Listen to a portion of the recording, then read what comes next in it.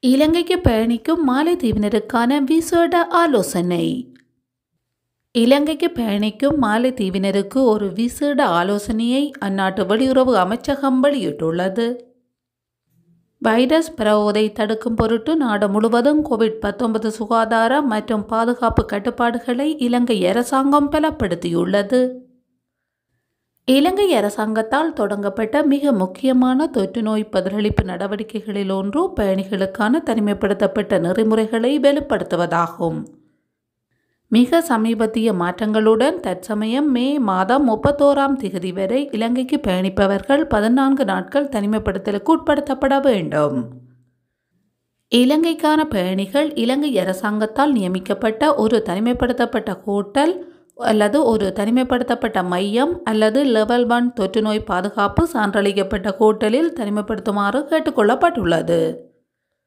பன்னிரண்டு வயதுக்கு மேற்பட்ட இலங்கைக்கு செல்லும் அனைத்து பயணிகளும் பதினான்கு நாட்கள் தனிமைப்படுத்தலை முடிக்க வேண்டும்.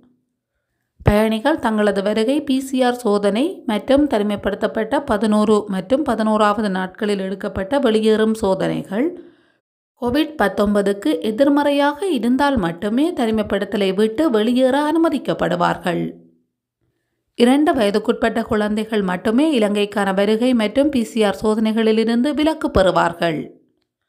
இலங்கை அவர்களின் தனிமைப்படுத்தப்பட்ட நடைமுறையில் முக்கியமான மாற்றங்களை கொண்டு வந்துள்ள நிலையில் முக்கியமான கவனிப்புக்காக மருத்துவமனைகளில் தனிமைப்படுத்தப்பட விரும்புவோர் மருத்துவமனை மற்றும் இலங்கையின் சுகாதார அமைச்சின் அனுமதியுடன் அவ்வாறு செய்ய அனுமதிக்கப்படுவார்கள் என்றும் பயணிகள் இன்னும் மருத்துவ உதவியை பெற இலங்கைக்குள் நுழைய அனுமதிக்கப்பட வேண்டும். தற்போதுள்ள தனிமைப்படுத்தப்பட்ட நடவடிக்கைகள் இலங்கையின் தொற்று நோய்களின் நிலையின் அடிப்படையில் மாற்றத்திற்கு உட்படுத்தப்படும் என்று மாலைதீவு வெளியுறவு அமைச்சகம் குறிப்பிட்டுள்ளது.